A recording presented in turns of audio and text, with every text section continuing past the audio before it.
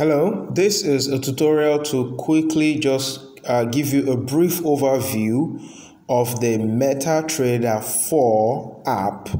The MetaTrader 4. Now you can you you would have downloaded most likely. Now you have the MetaTrader 4 and you have the MetaTrader 5. Both of them serve slightly different purposes. The most well used is the MetaTrader 4 um, application. That's what we're going to be using here. So when you open it, I just want to take you through different parts. Uh, just just because it's like a guided tour. We're not going to go into much details here.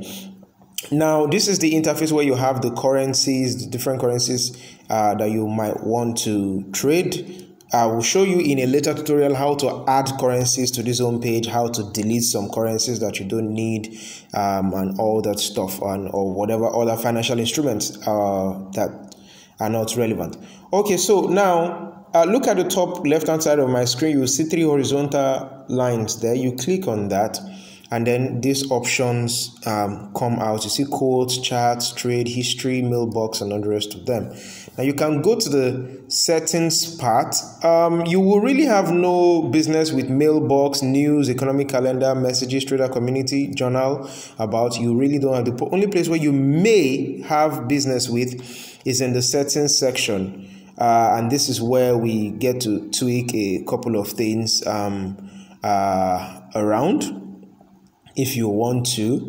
Uh, if you want sounds to be played when you issue an order, when you close an order, that's that. In, in the advanced mode, if you wanted to show all the details of, uh, you know, the currency, then you can do that. Then what kind of charts do you want on your screen? That the recommended chart is the candlestick chart, not the line, not the bar, the candlestick chart. So you leave that exactly um, the way is. Show volumes, you really don't have problems with. Mean, you really don't have any business there. Show trade levels, you can select that. Independent charts, graphical, you can select that. Show period separators, yeah, you can select. Ask price line yeah so you can also allow that to show. The ask price is the price at which you want to um, that you want to sell to the market. But let's not go into all those. The color scheme um, i use the color scheme i use uh, custom.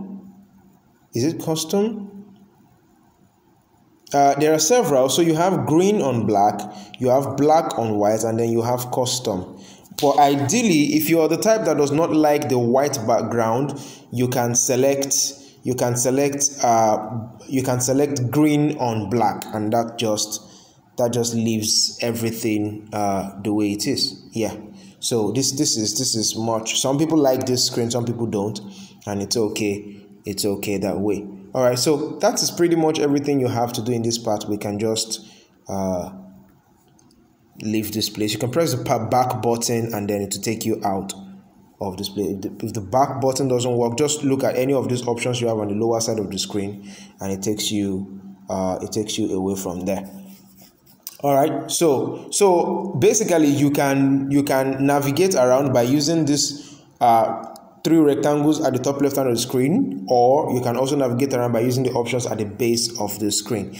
Now uh, you also at the base of the screen you can see some options with these arrows which basically shows the currencies. Uh, then this part is the part that shows your charts the graph. Um, now you might be wondering what these two lines are. To make it very simple to make it very uncomplicated for you let's just say that the red line is the buying price and the gray line is the selling price. Uh, the gap between them is what we call spread. Now, spread is basically it's that's more like the difference in price from where your broker takes their commission from. So, if you are selling at a particular price, when you sell, the gap between the amount of pips, the gap between your the gray line, the sell line, and the red line is the commission that your broker is taking. That's why you have two different prices at any point in time in the market. Much like in the same way when you're doing uh, when you're exchanging dollar for your local currency, the selling price of the dollar is different from the buying price of the dollar.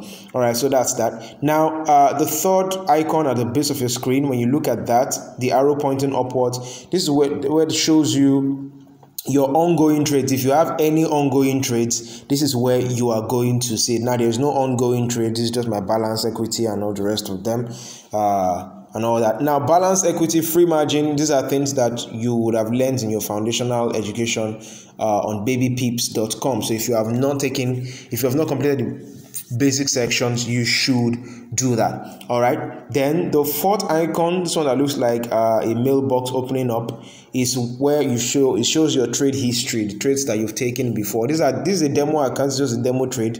I use this particular trade to do an example. You just say that's why i had to i just closed it in uh, a loss. All right? So that's pretty much that. Now look at the dollar sign. The dollar sign at the at the right hand side of the screen uh, the dollar sign just shows you all the symbols, all the currencies that you have traded. The next icon beside it, uh, you can you can change several settings there but the whole the whole point of all the settings is just to show you the trades that you have taken the profits you made on them or the losses that you made.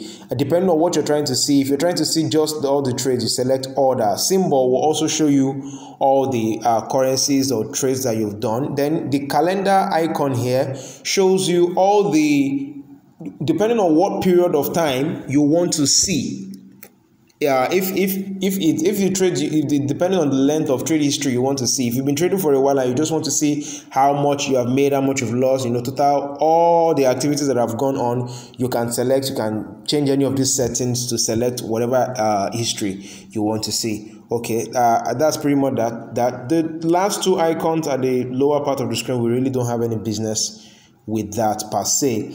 Uh, then okay, then let's come back to this particular option. Now look at this part that says manage accounts. When you click on manage accounts, it shows you this page is where you get to add your live trading account or your demo trading account to MetaTrader 4. Uh, these are the demo trading accounts and the real trading accounts that I have linked already. In another tutorial, I'm going to show you how to link your uh, your trading accounts to MetaTrader 4. You just need your login details and the password that you created when you were creating that trading account on uh, your broker's website. So that's all you need in order to be able to log in. MetaTrader 4 is a global app. It's, it's an industry standard app. All right. So that's that. I guess that brings us to the end of this overview. Thank you very much.